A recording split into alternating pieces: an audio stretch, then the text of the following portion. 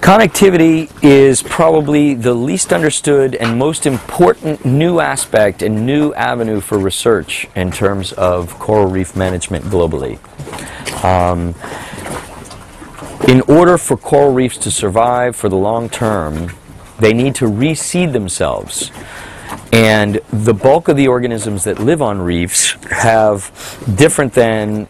terrestrial organisms, which have a young and keep it right there, uh, most marine organisms have a pelagic larval phase that disperses their young over great distances. Uh, I don't want to say randomly, but uh, the dispersal phase is much more passive, okay, and, and the, the larvae of the next generations are carried by ocean currents to the sites where the juveniles will, will live to grow. So reef systems function on the connectivity between source sites or spawning sites for corals or fishes or conchs or whatever uh, into what, what are called sink sites or nursery sites where those larvae can settle, metamorphose, and grow into juveniles and, and complete that cycle anew.